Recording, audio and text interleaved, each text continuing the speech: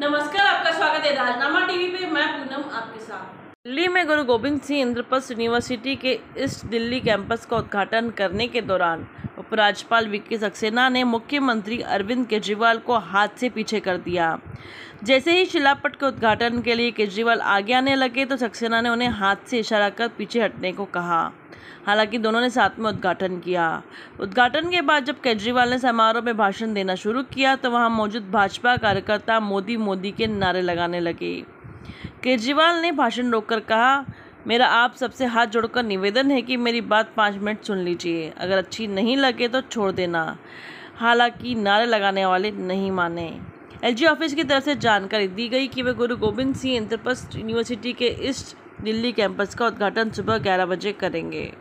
इसके बाद सुबह सात बजकर बाईस बजे आम आदमी पार्टी ने ट्वीट किया कि सीएम केजरीवाल साढ़े दस बजे कैंपस का इनाग्रेशन करेंगे। इसके बाद भाजपा और आप कार्यकर्ता यूनिवर्सिटी में जुटने लगे। हंगामे के आसार के चलते लिए यूनिवर्सिटी में फोर्स तैनात की गई थी। यूनिवर्सिटी में दोनों पार्टियों के कार्यकर्ताओं ने नारेबाजी की। इस हंगामे के बीच मुख्यमंत्री और एलजी ने कैंपस का उद्घाटन किया। इसी के साथ बने रहे राजनामा टीवी के साथ। धन्यवाद।